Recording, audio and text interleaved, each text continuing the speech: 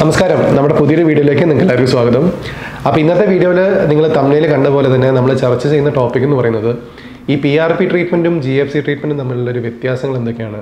അപ്പോൾ നിങ്ങൾ P R പിയോ ജി എഫ് സി ട്രീറ്റ്മെന്റോ ചെയ്യാൻ പ്ലാൻ ചെയ്യുന്ന ഒരാളാണെങ്കിൽ അല്ലെങ്കിൽ അതിനെക്കുറിച്ച് അറിയാൻ ആഗ്രഹിക്കുന്ന ഒരാളാണെങ്കിൽ ഇന്നത്തെ വീഡിയോ തീർച്ചയായിട്ടും നിങ്ങൾക്ക് യൂസ്ഫുൾ ആവും. ടോപ്പിക്സ് ഏതൊക്കെയാണെന്ന് ഞാൻ ജസ്റ്റ് ഒന്ന് റഫായിട്ട് പറയാം. ഈ G F C P R P treatment തമ്മിലുള്ള വ്യത്യാസം എന്താണ്? അതേപോലെ ഈ ഒരു ട്രീറ്റ്മെന്റുകൾക്ക് എന്തൊക്കെ തരത്തിലുള്ള സൈഡ് എഫക്ട്സ് ആണ് ഉള്ളത്? ഏതൊക്കെ കേസുകൾ അല്ലെങ്കിൽ എത്തരം സിറ്റുവേഷനിലാണ് ഈ G F C P R P നമുക്ക് റെക്കമെൻഡ് ചെയ്യാൻ പറ്റുക? ഇത് പെർമനന്റ് ആണോ? അതേപോലെ എത്ര സിറ്റിങ്സ് ചെയ്താലാണ് റിസൾട്ട് ഉണ്ടാവുക? ട്രാൻസ്പ്ലാന്റേഷൻ കഴിഞ്ഞു കഴിഞ്ഞാൽ ഈ P R P G F C treatment ചെയ്യണമെന്നുള്ളൊരു മസ്റ്റാണോ പുരുഷന്മാർക്കാണോ സ്ത്രീകൾക്കാണോ പി ആർ പി കൂടുതൽ ഉപകരിക്കുക? പി ആർ പി ചെയ്യുന്നുണ്ടെങ്കിൽ അല്ലെങ്കിൽ ജി എഫ് സി ചെയ്യുന്നുണ്ടെങ്കിൽ അതിന്റെ കൂടെ മെഡിസിൻ എടുക്കേണ്ട ആവശ്യമുണ്ടോ? മെഡിസിനും ഇതായിട്ടുള്ള റിലേഷൻ എന്താണ്? അതിന്റെ ഡാൻഡ്രഫ് ഉള്ള ഒരാൾക്ക് പി ആർ പി ചെയ്താൽ റിസൾട്ട് ഉണ്ടാവുമോ ഈ ഡാൻഡ്രഫും പി ആർ പിയും തമ്മിലുള്ള ഒരു റിലേഷൻ എന്താണ്? പുതിയ മുടി മുളയ്ക്കുമോ അല്ലെങ്കിൽ റീഗ്രോത്ത് സംഭവിക്കും എന്നുള്ളതാണ് കുറേ പേർക്ക് അറിയേണ്ടത്. അപ്പോൾ പി ആർ പി ചെയ്താൽ റീഗ്രോത്ത് ഉണ്ടാവുമോ എന്നുള്ളതോ അല്ലെങ്കിൽ എക്സിസ്റ്റിംഗ് മുടി പ്രിസർവ് ആവുന്നതാണോ ചെയ്യുക എന്നുള്ളത് ഇത്ര സിറ്റിങ്സ് ചെയ്താലാണ് അതിന്റെ റിസൾട്ട് ഉണ്ടാവുക. ഇത് ചെയ്യുന്ന സമയത്ത് പെയിൻ ഉണ്ടാവുമോ അതേപോലെ ഇതിന് റെസ്റ്റ് വേണ്ടി വരുമോ ഇതിനൊരു ഏജ് ലിമിറ്റ് ഉണ്ടോ? അപ്പം ഇത്തരം കാര്യങ്ങളാണ് ബേസിക്സ് ആയിട്ട് നമ്മൾ നോട്ട് ചെയ്ത് വെച്ചിട്ടുള്ളത്. അപ്പം ഈ ഒരു കാര്യങ്ങളാണ് ഇന്ന് ചർച്ച ചെയ്യാൻ പോകുന്നത് അപ്പം എന്റെ പേര് ഡോക്ടർ ശ്രീനാഥ്. ഞാൻ ഹെയർ ഓഡൻ ക്ലിനിക്കിലെ കൺസൾട്ടന്റ് ഡോക്ടറാണ് വീഡിയോ കണ്ടു കഴിഞ്ഞതിന് ശേഷം നിങ്ങൾക്ക് സംശയങ്ങളും കാര്യങ്ങളും ഉണ്ടെങ്കിൽ കമന്റ് ബോക്സിൽ ചോദിക്കുകയാണെങ്കിൽ റിപ്ലൈ തരുന്നതായിരിക്കും. അപ്പോൾ നമുക്ക് നേരെ വീഡിയോയിലേക്ക് കിടക്കാം. ഞാൻ ഇന്നത്തെ വീഡിയോയിൽ മാക്സിമം സിമ്പിൾ ആക്കിയിട്ടും അതേപോലെ തന്നെ മാക്സിമം ഷോർട്ട് ആക്കിയിട്ടുമാണ് പോയിന്റ്സ് എല്ലാം പറയാൻ ശ്രമിക്കുന്നത്. അതുകൊണ്ട് തന്നെ നമുക്ക് ആദ്യത്തെ പോയിന്റിലേക്ക് കിടക്കാം. G M C P R P തമ്മിലുള്ള വ്യത്യാസം എന്താണെന്നുള്ളതാണ് ഫസ്റ്റ് നമ്മുടെ മെയിൻ ചോദ്യം എന്ന് പറയുന്നത്. നമ്മൾ പി ആർ പി ട്രീറ്റ്മെന്റ് എന്ന് പറയുന്നത് നമ്മൾ പണ്ട് മുതലേ ചെയ്തു വരുന്ന ഒരു ട്രീറ്റ്മെന്റാണ് ജി എഫ് സി ട്രീറ്റ്മെന്റ് എന്ന് പറയുന്നത് ഈ ലേറ്റസ്റ്റ് ആയിട്ട് അഡ്വാൻസ് ചെയ്തിട്ടുള്ള ട്രീറ്റ്മെന്റ് ആണ്. ന- നിങ്ങളിതിൽ മനസ്സിലാക്കേണ്ട കാര്യം നമ്മൾ ബ്ലഡിൽ അടങ്ങിയിട്ടുള്ള പ്ലേറ്റ്ലെറ്റ്സ് ഈ പ്ലേറ്റ്ലെറ്റ്സിൽ അടങ്ങിയിട്ടുള്ള ഗ്രോത്ത് ഫാക്ടർ അതാണ് നമുക്ക് മുടീന്റെ വളർച്ചയ്ക്കായിട്ട് അല്ലെങ്കിൽ മുടീന്റെ ബൂസ്റ്റിങ്ങിനായിട്ട് നമുക്ക് വേണ്ട ഒരു കാര്യം എന്ന് പറയുന്നത്. അപ്പം ഈ പി ആർ പി ട്രീറ്റ്മെന്റ് ചെയ്യുമ്പം നമ്മൾ എന്താ ചെയ്യുക? ബ്ലഡിൽ അടങ്ങിയിട്ടുള്ള പ്ലേറ്റ്ലെറ്റ്സ് പ്ലേറ്റ്ലെറ്റ്സ് സെപ്പറേറ്റ് ചെയ്യാണ് ചെയ്യുക. അതായത് പ്ലേറ്റ്ലെറ്റ്സ് അടങ്ങിയിട്ടുള്ള ഗ്രോത്ത് ഫാക്ടർ അല്ല പ്ലേറ്റ്ലെറ്റ്സോടൊക്കെ സെപ്പറേറ്റ് ചെയ്യാണ് നമ്മൾ ചെയ്യുക. അങ്ങനെ പ്ലേറ്റ്ലെറ്റ് സെപ്പറേറ്റ് ചെയ്യാൻ നോക്കുമ്പോഴത്തേക്ക് ഇതേപോലെ ആവശ്യമില്ലാത്ത അതായത് മുടിയുടെ ഗ്രോത്തിന് വേണ്ടി നമുക്ക് ആവശ്യമില്ലാത്ത കുറച്ച് കാര്യങ്ങളൂടെ അതിലേക്ക് കയറി വരും. അതായത് ഈ R B C W B C പോലുള്ള ബ്ലഡ് സെൽസും കൂടെ അതിലേക്ക് കയറി വരും. അപ്പോൾ ഇത് നമുക്ക് ഈ ഗ്രോത്ത് പ്രൊമോട്ട് ചെയ്യാനായിട്ട് ഈ R B C W B C ഒന്നും ഇഞ്ചെക്ട് ചെയ്തുകൊണ്ട് കാര്യമില്ല. പക്ഷേ നമ്മുടെ സ്വന്തം ബോഡിയിലെ കണ്ടന്റ് ആയതുകൊണ്ട് തന്നെ നമ്മൾ ഇത് ഇഞ്ചെക്ട് ചെയ്തു കരുതിയിട്ട് വേറെ ദോഷമില്ല എന്നുള്ളതാണ് അതിലൊരു കാര്യം. അപ്പം നമ്മൾ ഈ ആവശ്യമില്ലാത്ത സാധനം കൂടെ ഇഞ്ചെക്ട് ചെയ്യുന്നതുകൊണ്ടാണ് ഈ പി ആർ പി ചെയ്യുമ്പം ഉണ്ടാവുന്ന ഒരു നോർമൽ ഒരു പെയിൻ അതായത് സഹിക്കാവുന്ന വേദന ഉള്ളെങ്കിൽ പോലും അതൊരു നോർമൽ ആയിട്ടുള്ള ഒരു പെയിൻ ഉണ്ടാവാനുള്ള ഒരു കാര്യം എന്ന് പറയുന്നത്. നേരെ മറിച്ച് ജി എഫ് സിയിൽ സംഭവിക്കുന്ന ഒരു കാര്യം എന്ന് പറഞ്ഞാൽ അതിന്റെ പേര് പോലെ തന്നെ ഗ്രോത്ത് ഫാക്ടർ കോൺസെൻട്രേറ്റ്. അതായത് ഈ പ്ലേറ്റ്ലെറ്റ്സ് അടങ്ങിയിട്ടുള്ള ഗ്രോത്ത് ഫാക്ടർ അത് മാത്രമായിട്ടാണ് നമ്മൾ വേർതിരിച്ചെടുക്കുക. അതായത് അനാവശ്യമായിട്ടുള്ള അല്ലെങ്കിൽ മുടിക്ക് ആവശ്യമില്ലാത്ത കണ്ടൻസ് ഒന്നും അതിലേക്ക് കയറി വരാതെ ആ പ്യുവർ ആയിട്ടുള്ള ഫോമാണ് നമ്മൾ വേർതിരിച്ച് തിരിച്ചെടുത്തിട്ട് ഇഞ്ചെക്ട് ചെയ്യുക എന്നുള്ളതാണ്. അതുകൊണ്ട് തന്നെ ഈ ആവശ്യമില്ലാത്ത സാധനങ്ങളൂടെ അതിന്റെ കൂടി ഇഞ്ചെക്ട് ചെയ്യാത്തതുകൊണ്ട് തന്നെ പി ആർ പി ആയിട്ട് കമ്പയർ ചെയ്യുകയാണെങ്കിൽ കുറച്ചും കൂടെ വേദന കുറവുണ്ടെന്നുള്ളതും കുറച്ചും കൂടെ ഒരു ബെറ്റർ റിസൾട്ട് ആവുന്നുള്ളതാണ് നമുക്കതൊന്ന് മനസ്സിലാക്കേണ്ടത് അല്ലെങ്കിൽ നമ്മൾ കണ്ടുവരുന്നൊരു കാര്യം എന്ന് പറയുന്നത്. തിയററ്റിക്കലി പറയുകയാണെങ്കിൽ ഏകദേശം രണ്ടോ മൂന്നോ പി ആർ പി ചെയ്യുന്ന എഫക്റ്റ് ഉണ്ട്. ഒരു ജി എഫ് സിക്ക് എന്നാണ് നമ്മൾ പൊതുവേ പറയാറും അല്ലെങ്കിൽ ആ റിസൾട്ടും നമ്മൾ കണ്ടുവരുന്നൊരു കാര്യം എന്ന് പറയുന്നത്. അതാണ് മെയിനായിട്ട് ഈ G F C P R പിയും തമ്മിലുള്ള വ്യത്യാസം എന്ന് പറയുന്നത്. രണ്ടാമത്തെ കാര്യം ചോദിച്ചിട്ടുള്ളത് ഈ പി ആർ പി ട്രീറ്റ്മെന്റിനൊക്കെ എന്തെങ്കിലും സൈഡ് എഫക്ട്സ് ഉണ്ടോ എന്നുള്ളതാണ്. നമ്മൾ ഇത്തരം ട്രീറ്റ്മെന്റുകളൊക്കെ എന്ന് പറഞ്ഞാൽ നമ്മുടെ സ്വന്തം ബോഡിയിൽ അല്ലെങ്കിൽ നമ്മുടെ സ്വന്തം ബ്ലഡിനകത്തുള്ള കണ്ടൻസ് എടുത്ത് ചെയ്യുന്നതുകൊണ്ട് തന്നെ സൈഡ് എഫക്ട്സിനെ കുറച്ച് കുറച്ച് നിങ്ങൾക്ക് പേടിക്കേണ്ട കാര്യമില്ല. കാര്യം നമുക്കിതിൽ നിന്ന് പറയാവുന്നൊരു കാര്യം എന്ന് പറഞ്ഞാൽ നമുക്കിതിൽ ഗുണം കിട്ടിയിട്ടില്ലെങ്കിലും നിങ്ങൾക്കിത് ദോഷം എന്തായാലും ഉണ്ടാവില്ല. ഒന്നെങ്കിൽ റിസൾട്ട് ഉണ്ടാവുക അല്ലെങ്കിൽ ഇതേപോലെ പ്രത്യേകിച്ച് ഒന്നും സംഭവിക്കാതിരിക്കുക എന്നുള്ള പോലെ അല്ലാതെ ഈ P R P G F C ചെയ്തു എന്ന് കരുതിയിട്ട് എക്സസ് ആയിട്ട് അത് നിർത്തി കഴിഞ്ഞാൽ എക്സസ് ആയിട്ട് മുടി പോവുക അല്ലെങ്കിൽ പഴയതിനെക്കാട്ടും ഹെയർ ഫോൾ വേസ്റ്റ് ആവുക എന്നുള്ള പോലത്തെ പ്രശ്നങ്ങളൊന്നും നിങ്ങൾ പേടിക്കേണ്ടതായിട്ടില്ല. അടുത്തൊരു കാര്യം എന്ന് പറയുന്നത് ഏതൊക്കെ കേസുകളിലാണ് ഈ പി ആർ പി ട്രീറ്റ്മെന്റ് അല്ലെങ്കിൽ ജി എഫ് ട്രീറ്റ്മെന്റ് റെക്കമെൻഡ് ചെയ്യാൻ പറ്റുന്നുള്ളതാണ് നിങ്ങൾ മനസ്സിലാക്കേണ്ട കാര്യം ഒരു പരിധിയിൽ കൂടുതൽ മുടി പോയിട്ടുള്ള ഒരു കേസിൽ അല്ലെങ്കിൽ ഫോളിക്കളെ നഷ്ടപ്പെട്ടു എന്നുള്ളൊരു അവസ്ഥയിൽ നിങ്ങൾ പി ആർ പിയോ ജി എഫ് ചെയ്താൽ ഇല്ലാത്ത ഫോളിക്കൾ അവിടെ പൊട്ടിമുളച്ച് വരിക എന്ന് നിങ്ങൾ വിചാരിക്കരുത്. പി ആർ പി ട്രീറ്റ്മെന്റ് എന്നൊക്കെ പറയുന്നത് നല്ല ഉള്ളുകുറവാണ് തിന്നിങ് ആണ് വിഷയം എന്നൊക്കെ ഉണ്ടെങ്കിലാണ് നമുക്ക് ട്രൈ ചെയ്ത് നോക്കാൻ പറ്റുക. ഒരു പരിധി കൂടുതൽ മുടി പോയിട്ടുള്ള കേസുകളാണെങ്കിൽ നിങ്ങൾ ട്രാൻസ്പ്ലാന്റേഷൻ ഒപ്റ്റ് ചെയ്യുന്നതായിരിക്കും വേണ്ടത്. അത് നിങ്ങൾ കാണുന്ന ഡോക്ടർ അല്ലെങ്കിൽ നിങ്ങളുടെ ഡോക്ടർ അത് പ്രോപ്പറായിട്ട് നിങ്ങളുടെ കേസ് എക്സാമിൻ ചെയ്തിട്ട് നിങ്ങൾക്ക് എന്ത് ട്രീറ്റ്മെന്റ് ആണ് സ്യൂട്ട് ആവുക എന്നുള്ളത് സജസ്റ്റ് ചെയ്ത് തരിക എന്നുള്ളതാണ് ആ ഒരു ഡോക്ടറിന്റെ ഡ്യൂട്ടി എന്നുള്ളത്. അപ്പം അത് ഐഡിയപരമായിട്ട് ചൂസ് ചെയ്യുക എന്നുള്ളതാണ് നിങ്ങളുടെ ഒരു നിങ്ങൾ നോക്കേണ്ട ഒരു കാര്യം എന്ന് പറയുന്നത്. അപ്പോൾ നിങ്ങൾ മനസ്സിലാക്കേണ്ടത് ഒരു പരിധി കൂടുതൽ കൂടി പോയിട്ടുണ്ടെങ്കിൽ ട്രാൻസ്പ്ലാന്റും ഉള്ളു കുറവ് തിന്നിങ് കൊഴിച്ചിലൊക്കെ ആണെങ്കിലാണ് നിങ്ങൾക്ക് പി ആർ പി ട്രീറ്റ്മെന്റോ ജി എഫ് സി ട്രീറ്റ്മെന്റോ ട്രൈ ചെയ്ത് നോക്കാനായിട്ട് പറ്റുക. അടുത്ത ചോദ്യം ചോദിച്ചതെന്ന് പറഞ്ഞിട്ടുണ്ടെങ്കിൽ അത് പെർമനന്റ് ആണോ എന്നുള്ളതാണ്. നമുക്ക് ഈ ഒരു മുടിക്ക് വേണ്ടി ട്രീറ്റ്മെന്റ് പറയണമെങ്കിൽ നമുക്ക് ഈ എന്താ പറയുക മുടി കൊഴിച്ചിൽ അല്ലെങ്കിൽ ഈ ഒരു പ്രശ്നത്തിന് നമുക്ക് ബൂസ്റ്റിംഗ് കൊടുത്തിട്ട് അല്ലെങ്കിൽ വളം കൊടുത്തിട്ട് നമുക്ക് കുറച്ച് കാലത്തേക്ക് അത് നീട്ടി നീട്ടി എക്സ്റ്റെൻഡ് ചെയ്ത് കൊണ്ടുപോകാമെന്നല്ലാതെ ഒരു തവണ ഒരു ട്രീറ്റ്മെന്റ് ചെയ്തിട്ട് നമുക്ക് പിന്നീട് ഒരിക്കലും മുടി കൊഴിയാതിരിക്കുക എന്നുള്ള പോലത്തെ ഒരു ഓപ്ഷൻ ലോകത്ത് തന്നെ കണ്ടുപിടിച്ചിട്ടില്ല. ഈ P R P G F C treatment ഒക്കെ തന്നെ ആയാലും അത് ഇടയ്ക്കിടയ്ക്ക് വളം കൊടുക്കുന്ന പോലെ ചെയ്ത് അത് നമുക്ക് ബൂസ്റ്റ് ചെയ്ത് അത് കൊഴിച്ചിൽ അത് നീട്ടി നീട്ടി ഇങ്ങനെ കൊണ്ടുപോകാൻ എന്നുള്ളതല്ലാതെ ഒരു തവണ അല്ല കുറച്ച് തവണ അല്ലെങ്കിൽ ഒരു course P R P G F C ചെയ്തെന്ന് കരുതി പിന്നെ ലൈഫിൽ ഒരിക്കലും മുടി പോകാതിരിക്കുക. അതിഭയങ്കരമായിട്ട് മുടി വരാമെന്നൊന്നും നിങ്ങൾ വിചാരിക്കരുത്.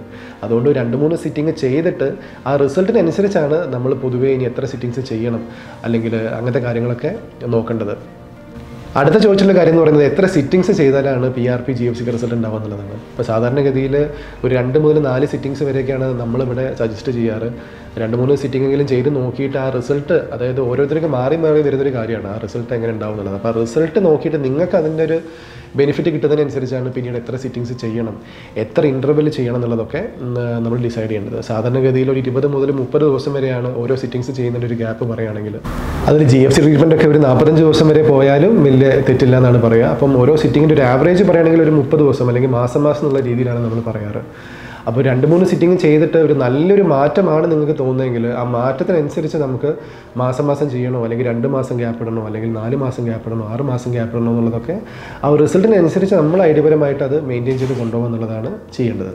അതേപോലെ അടുത്ത ചോദ്യം ചോദിച്ചതെന്ന് പറഞ്ഞിട്ടുണ്ടെങ്കിൽ ട്രാൻസ്പ്ലാന്റേഷൻ കഴിഞ്ഞ് കഴിഞ്ഞാൽ P R P G F C പോലെ ട്രീറ്റ്മെന്റ് ചെയ്യണം എന്നുള്ളൊരു മസ്റ്റ് ആണോ എന്നുള്ളതാണ് നമ്മൾ ട്രാൻസ്പ്ലാന്റേഷൻ ചെയ്ത മുടിക്കായാലും ഈ മെയിനായിട്ട് P R P G F C ഉദ്ദേശിക്കുന്നത് എക്സിസ്റ്റിംഗ് മുടി അതായത് ട്രാൻസ്പ്ലാന്റ് ചെയ്യാത്ത എക്സിസ്റ്റിംഗ് മുടി പ്രിസർവ് ചെയ്ത് കൊണ്ടുപോകുക എന്നുള്ളൊരു ലോജിക്കലാണ് ട്രാൻസ്പ്ലാന്റ് കഴിഞ്ഞാൽ നമ്മൾ അതിന്റെ കൂടെ P R P G F C suggest ചെയ്യുന്നത്. ഈവൻ ട്രാൻസ്പ്ലാന്റ് ചെയ്ത മുടിക്കും അത് ഒരു ബൂസ്റ്റിങ്ങിനായിട്ട് ഹെൽപ്പ് ചെയ്യുന്നതുകൊണ്ട് തന്നെ രണ്ടും എക്സിസ്റ്റിംഗ് മുടിക്കായാലും ട്രാൻസ്പ്ലാന്റ് ചെയ്ത മുടിക്കായാലും P R P G F C transplant കഴിഞ്ഞാൽ കുറച്ച് സിറ്റിങ്സ് ചെയ്യുന്നത് നല്ലതായിരിക്കും.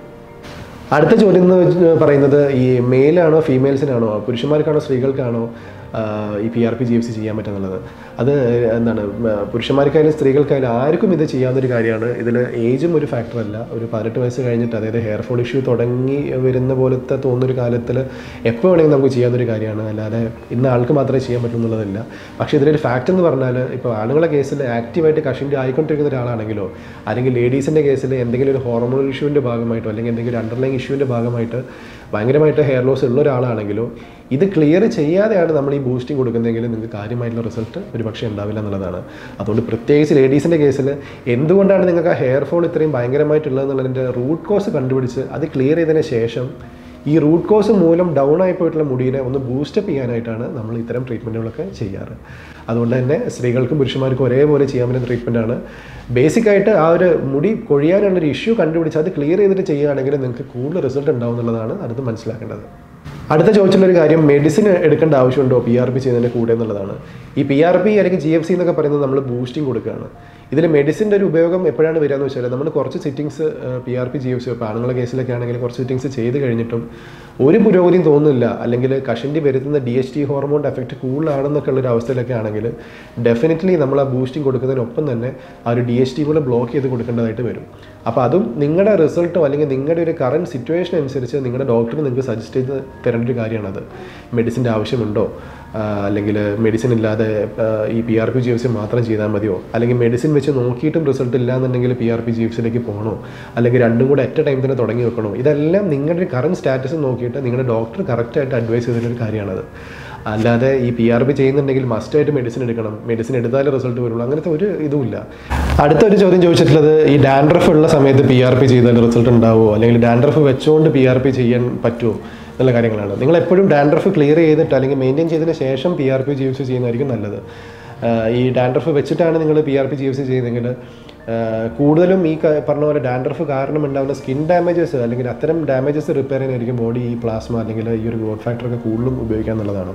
അതല്ല നിങ്ങൾ ക്ലിയർ ആയി ഡാൻഡ്രഫ് ഒന്നും ഇല്ലാതെ നീറ്റായിട്ടിരിക്കുന്ന ഒരു അവസ്ഥയിലാണ് ചെയ്യുന്നതെങ്കിൽ അതിന് മാക്സിമം എഫക്റ്റ് മുടി തന്നെ എടുത്തിട്ട് മുടിക്ക് മുടിയിലേക്ക് അതിന്റെ കൂടുതൽ റിസൾട്ട് വരാനായിട്ട് ഹെൽപ്പ് ചെയ്യുന്നുള്ളതാണ് മനസ്സിലാക്കേണ്ടത്. അപ്പം ഡാൻഡ്രഫ് ഉള്ളതുകൊണ്ട് ചെയ്യുന്നതുകൊണ്ട് കുഴപ്പം ഉണ്ടായിട്ടല്ല പക്ഷേ ഡാൻഡ്രഫ് ക്ലിയർ ചെയ്ത് കഴിഞ്ഞാൽ കൂടുതൽ റിസൾട്ട് മുടിക്ക് കിട്ടും എന്നുള്ളതാണ് വരുന്നൊരു ഗുണം എന്ന് പറയുന്നത്.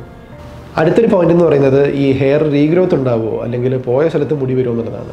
ഇതാണ് ഇതിനൊരു പ്രധാനമായിട്ടൊരു പോയിന്റ് ഞാൻ കുറേ നാളുകളായിട്ട് നിങ്ങളുടെ അടുത്ത് വീഡിയോയിലൂടെ പറയണമെന്ന് വിചാരിച്ചിട്ട് കാര്യം എന്ന് പറയുന്നത്.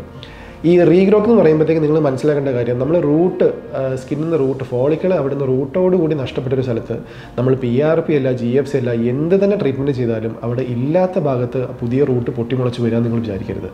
നേരെ മറിച്ച് ഓടി ഉള്ള റൂട്ട് അവിടെ ഒരു മുടി ഉള്ളൊരു ആളാണെങ്കിൽ ഈ ഡെയിലി ഈ ഹെയർ ഫോൾ നടന്നുകൊണ്ടിരിക്കുമ്പോഴത്തേക്ക് നിങ്ങൾ ഒരിക്കലും ഇത് റൂട്ടോട് കൂടി പോയിട്ട് അങ്ങനെയാണ് അവിടെ കാലിയാവുന്നത് നിങ്ങൾ ഒരിക്കലും വിചാരിക്കരുത്. റൂട്ട് അവിടെ നിന്നിട്ട് മുടി മാത്രമാണ് അവിടെ നിന്ന് കൊഴിഞ്ഞു പോകുന്നത്. അതായത് ഒരു കൊഴിഞ്ഞു പോകുന്ന സ്ഥലത്ത് ഉടനെ തന്നെ പുതിയ മുടി റീഗ്രോത്ത് അവിടെ ഉണ്ടാവും. അത് നമ്മൾ എന്ത് ചെയ്താലും ചെയ്തില്ലെങ്കിലും റീഗ്രോത്ത് അവിടെ സംഭവിക്കും. പക്ഷേ ഈ റീഗ്രോത്ത് ആയിട്ട് വരുന്ന മുടി പഴയ മുടിയേക്കാളും തിന്നു മുടിയായിരിക്കും. അതിനാണ് ഈ ഏജ് വയസ്സിലെ തിന്നിങ് എന്ന് പറയുക. ഇനി അതല്ല വേറെ എന്തെങ്കിലും അണ്ടർലൈങ് അണ്ടർലൈങ് ഇഷ്യൂവിന്റെ ഭാഗമായിട്ടുള്ളൊരു കൊഴിച്ചിലാണെങ്കിൽ അവിടെയും ഇതേപോലെ റീഗ്രോത്ത് ഉണ്ടാവും. പക്ഷേ ആ റീഗ്രോത്ത് ആയിട്ട് വരുന്ന മുടി കുറച്ച് അധികം തിന്നിട്ടായിരിക്കും വരിക. അത് നിങ്ങളുടെ ആ ഒരു അണ്ടർലൈങ് ഇഷ്യൂവിന്റെ ഒരു ഇന്റൻസിറ്റിയോ അല്ലെങ്കിൽ ആ അണ്ടർലൈങ് ഇഷ്യൂവിന്റെ ഒരു ബേസ് ചെയ്തിരിക്കും എത്രത്തോളം തിന്നായിട്ട് വരിക എന്നുള്ളത്. അപ്പം എന്തൊക്കെ പറഞ്ഞാലും നമ്മൾ മനസ്സിലാക്കേണ്ട കാര്യം ട്രീറ്റ്മെന്റ് ചെയ്താലും ചെയ്തില്ലെങ്കിലും റീഗ്രോത്ത് സംഭവിക്കുന്നുണ്ട്. പക്ഷേ ആ റീഗ്രോത്ത് ആയിട്ട് വരുന്ന മുടിയെ ഒന്നും കൂടെ ഒന്ന് ബൂസ്റ്റ് ചെയ്തിട്ട് വരുത്തിക്കാനാണ് അല്ലെങ്കിൽ അന്ന് പുതിയതായിട്ട് വരുന്ന മുടിയെ ഒന്നും കൂടെ ഒന്ന് ഹെൽത്തി ആക്കാനായിട്ടാണ് ഇത്തരം ട്രീറ്റ്മെന്റ് ചെയ്യുന്നതെന്നുള്ളതാണ് അതുകൊണ്ട് നിങ്ങൾ കംപ്ലീറ്റ് ആയിട്ട് മുടി പോയിട്ടുള്ള സ്ഥലത്ത് അതായത് ഫോളിക്കിളേ പോയിട്ട് തീരെ മുടിയില്ലാത്തൊരു സ്ഥലത്ത് P R P G F സിയോ നിങ്ങളടുത്ത് ആരെങ്കിലും ചെയ്യണമെന്ന് പറയാൻ നിങ്ങൾ ഒരു കാരണവശാലും ചെയ്യരുത്. ചെയ്തുകൊണ്ട് നിങ്ങൾക്ക് അവിടെ ഒരു ഗുണവും അതിന് കിട്ടാനില്ല. നേരെ മറിച്ച് നല്ല മുടിയുണ്ട് ഉള്ളു കുറവാണ് തിന്നിങ് ഒക്കെ ആണെന്നുണ്ടെങ്കിൽ നിങ്ങൾ ചാടി കയറി ട്രാൻസ്പ്ലാന്റ് ചെയ്യരുത്. അത്തരം സിറ്റുവേഷൻസിലാണ് P R P G F സിയോ ട്രൈ ചെയ്ത് നോക്കാനുള്ള ഒരു ആവശ്യമുള്ളത്. അപ്പം അതാണ് റീഗ്രോത്ത് എന്നുള്ളൊരു വാക്കിൽ വരുന്ന ഒരു മെയിൻ കാര്യം. കുറേ പേർക്ക് കൺഫ്യൂഷൻ ഒരു ഒരു കാര്യമാണ് ഈ റീഗ്രോത്തും അതേപോലെ മുടി വരുമോ മുളയ്ക്കോ എന്നുള്ളതിനെക്കുറിച്ച്. അപ്പോൾ ഇതാണ് അതിന്റെ ഒരു കാര്യങ്ങൾ അപ്പോൾ അത് മെയിനായിട്ട് നോട്ട് ചെയ്യുക കേട്ടോ അടുത്ത ചോദ്യം എന്ന് പറയുന്നത് എത്ര സിറ്റിങ്സ് ചെയ്താൽ റിസൾട്ട് വരിക? അല്ലെങ്കിൽ എത്ര നാളുകൊണ്ട് നമുക്ക് വിസിബിൾ റിസൾട്ട് കാണാൻ പറ്റുന്നുള്ളതാണ് സാധാരണഗതിയിൽ ഒരു ചില ആളുകൾക്ക് രണ്ട് മൂന്ന് സിറ്റിംഗ് ചെയ്യുമ്പോൾ തന്നെ നല്ലൊരു അമേസിംഗ് ആയിട്ടുള്ള റിസൾട്ട് വന്നവരുണ്ട് എത്ര സിറ്റിങ്സ് ചെയ്തിട്ടും പ്രത്യേകിച്ച് റിസൾട്ട് തോന്നാത്തവരുണ്ട് അപ്പോൾ ഇതിലെ സംഭവം എന്ന് പറഞ്ഞാൽ നമുക്ക് ഓരോരുത്തർക്കും മാറി മാറി വരുന്നൊരു കാര്യമാണത്. അത് അതായത് നമ്മളൊരു ജനറ്റിക് ആയിട്ട് കഷന്റെ ആവേണ്ട ലെവൽ അനുസരിച്ചിട്ടോ അല്ലെങ്കിൽ നമുക്ക് എത്രമാത്രം ഒരു അണ്ടർലൈൻ ഇഷ്യൂസ് നമ്മൾ വെച്ചുകൊണ്ടിരിക്കുന്നുണ്ടെന്നുള്ളതും നമ്മുടെ ജനറൽ ഹെൽത്തും നമ്മുടെ ഇപ്പോൾ ഉള്ള മുടിയുടെ ക്വാളിറ്റിയും എല്ലാം അനുസരിച്ചാണ് എങ്ങനെ റിസൾട്ട് മാറി മാറി വരിക എന്നുള്ളത് പറയാൻ പറ്റുക. അപ്പോൾ ഒരാൾക്ക് ഇപ്പം എത്ര സിറ്റിങ്സ് ചെയ്തിട്ട് റിസൾട്ട് വരാത്ത ഒരാൾക്ക് അതേപോലെ തന്നെ മറ്റൊരാൾക്കും സംഭവിക്കണമെന്നില്ല. അല്ലെങ്കിൽ മറ്റൊരാൾക്ക് രണ്ട് മൂന്ന് സിറ്റിംഗ് ചെയ്തപ്പോഴത്തേക്ക് അമേസിംഗ് ആയിട്ടുള്ളൊരു മാറ്റം വന്ന പോലെ തന്നെ എല്ലാവർക്കും അതേപോലെ വരണമെന്നില്ല. അതുകൊണ്ട് തന്നെ നമ്മളിവിടെ പൊതുവേ പറഞ്ഞു കൊടുക്കാറുള്ള ഒരു കാര്യം ഒരു രണ്ട് മൂന്ന് സിറ്റിങ്ങെങ്കിലും ചെയ്തിട്ട് അവനവനെ തോന്നണം ആ ഒരു ഇമ്പ്രൂവ്മെന്റ് ഉണ്ടോ എന്നുള്ളത്. അതിനനുസരിച്ചാണ് പിന്നീട് അത് കണ്ടിന്യൂ ചെയ്യണോ വേണ്ടോ എന്നുള്ളതൊക്കെ ആലോചിക്കേണ്ടത്. അതേപോലെ അവസാനത്തെ ഒരു ചോദ്യം എന്ന് പറയുന്നത് ഇത് ചെയ്യുമ്പോഴത്തേക്ക് പെയിൻ ഉണ്ടാവും എന്നുള്ളതും ഇത് കഴിഞ്ഞാൽ റെസ്റ്റ് വേണ്ടി വരും എന്നുള്ളതുമാണ്. പെയിനിന്റെ കാര്യം പറയുകയാണെങ്കിൽ നിങ്ങൾ ഒരുപാട് പേര് G F C P R P treatment ഒക്കെ ചെയ്ത ആളുകളാണ്. അതുകൊണ്ട് പെയിനെ കുറിച്ച് പറയുകയാണെങ്കിൽ നിങ്ങളുടെ അനുഭവം എന്താണെന്നുള്ളത് നിങ്ങൾ കമന്റ് ബോക്സിൽ പറയാമെന്നുള്ളതാണ് എന്തൊക്കെയായാലും സീറോ പെയിൻ അല്ല തീരെ പെയിൻ ഇല്ലാത്തൊരു പ്രൊസീജിയറാണെന്ന് നിങ്ങൾ വിചാരിക്കരുത്. പക്ഷേ എന്നാൽ പോലും ഭയങ്കരമായിട്ട് സഹിക്കാൻ പറ്റാത്ത വേദന പോലെ ഇതുവരെ ആരും പറഞ്ഞിട്ടില്ല. പിന്നെ പെയിൻ ടോളറേറ്റ് ചെയ്യാനുള്ള കപ്പാസിറ്റി ഓരോരുത്തർക്കും ഓരോ രീതിയിലായിരിക്കുമല്ലോ. എന്നാലും ഒരു ജനറൽ രീതിയിൽ പറയുകയാണെങ്കിൽ പൊതുവേ പെയിൻ കുറവ് അല്ലെങ്കിൽ പെയിൻലെസ് എന്ന് പറയാൻ പറ്റില്ലെങ്കിലും പെയിൻ കുറവ് ആയിട്ടുള്ള ഒരു ട്രീറ്റ്മെന്റാണ് ഈ P R P G F C എന്ന് പറയുന്നത്. അപ്പോൾ അത് ആ ചെയ്ത് കൊടുക്കുന്ന ഡോക്ടർ അതിന്റേതായിട്ടുള്ള ഒരു ഐഡിയമായിട്ടുള്ള ഒരു ഐഡിയപരമായിട്ടുള്ള രീതിയിൽ അതിന് ഇഞ്ചക്ഷൻ പ്രൊസീജിയേഴ്സ് ഒക്കെ ഫോളോ ചെയ്ത് ചെയ്യുകയാണെങ്കിലോ അല്ലെങ്കിൽ ഒരു മസാജറൊക്കെ വെച്ചിട്ട് ചെയ്യുകയാണെങ്കിലോ അല്ലെങ്കിൽ ഒന്ന് പേഷ്യന്റിനെ കംഫർട്ട് ആക്കിയിട്ടുള്ള പോലെ ചെയ്യുകയാണെങ്കിൽ സഹിക്കാവുന്ന വേദനയുള്ളൂ അല്ലെങ്കിൽ കംഫർട്ടായിട്ട് ചെയ്തു പോകാവുന്ന ഒരു ട്രീറ്റ്മെന്റാണ് ഈ G F C P R P എന്നൊക്കെ പറയുന്നത്. അതേപോലെ തന്നെ ട്രീറ്റ്മെന്റ് കഴിഞ്ഞ് കഴിഞ്ഞാൽ അങ്ങനെ പ്രത്യേകിച്ച് റെസ്റ്റിന്റെ ആവശ്യമൊന്നുമില്ല കാര്യം ഇതൊരു സർജറി അങ്ങനെയൊന്നുമില്ല. ഒരു അരമുക്കാൽ മണിക്കൂർ അല്ലെങ്കിൽ മാക്സിമം ഒരു മണിക്കൂറത്തെ ഒരു കാര്യത്തിനുള്ളിൽ നിങ്ങൾക്ക് ചെയ്തു പോകാവുന്നതാണ്. ഇത് കഴിഞ്ഞാൽ പിന്നെ എല്ലാം ബാക്ക് നോർമലാണ് അതിന്റെ അത് കഴിഞ്ഞിട്ടുള്ള ചെറിയ ചെറിയ ഫോളോ ചെയ്യുന്ന ഇൻസ്ട്രക്ഷൻസ് ഒക്കെ നിങ്ങൾ ചെയ്ത് കഴിയുമ്പോൾ നിങ്ങൾ ഡോക്ടർ അപ്പോൾ എക്സ്പ്ലെയിൻ ചെയ്തിരുന്നതാണ്. അല്ലാതെ ഇത് കഴിഞ്ഞ റെസ്റ്റോ അല്ലെങ്കിൽ ക്യാപ്പ് വെക്കാതിരിക്കുക. കുറേ പേര് ചോദിക്കുന്ന സംശയമാണ് ഹെൽമെറ്റ് വെക്കാൻ പറ്റുമോ? അത്തരം അങ്ങനത്തെ ഒരു കാര്യങ്ങളും ഇല്ല. കാര്യം ഇതൊരു വലിയ മുറിവോ സർജറി ഒന്നുമല്ല എല്ലാം ബാക്ക് നോർമലാണ് അപ്പോൾ ഇതൊക്കെയാണ് ഇന്നത്തെ വീഡിയോയിൽ നമ്മൾ ഡിസ്കസ് ചെയ്യാൻ ആഗ്രഹിച്ച ടോപ്പിക്സ് അപ്പോൾ നിങ്ങൾക്ക് ഈ ഒരു P R P G F ട്രീറ്റ്മെന്റിനെ കുറിച്ച് ഇനി ഫർദർ ഡൗട്ട്സ് ഉണ്ടെങ്കിൽ കമന്റ് ബോക്സിൽ ചോദിക്കുകയാണെങ്കിൽ ഞാൻ റിപ്ലൈ തരാം. അപ്പോൾ ഇന്നത്തെ വീഡിയോ നിങ്ങൾക്ക് ഹെൽപ്ഫുൾ ആയെന്ന് കരുതുന്നു. വീഡിയോ ഹെൽപ്ഫുൾ ആയിട്ട് തോന്നുകയാണെങ്കിൽ ഈ G F C P R P treatment ചെയ്യാൻ പ്ലാൻ ചെയ്യുന്ന നിങ്ങളുടെ ഫ്രണ്ട്സിനെല്ലാം വീഡിയോ ഷെയർ ചെയ്ത് കൊടുക്കുക. വീഡിയോ ഇഷ്ടമായി ലൈക്ക് ചെയ്യുക. ചാനൽ ഉപകാരപ്രദമാണെന്ന് നിങ്ങൾക്ക് തോന്നുന്നുണ്ടെങ്കിൽ സബ്സ്ക്രൈബ് ചെയ്യാൻ മടിക്കരുത്. അപ്പോൾ ഇതേപോലുള്ള ഹെൽപ്ഫുൾ ആയിട്ടുള്ള ഒരു വീഡിയോ ആയിട്ട് നെക്സ്റ്റ് ടൈം നമുക്ക് കാണാം. അതുവരെ നന്ദി നമസ്കാരം.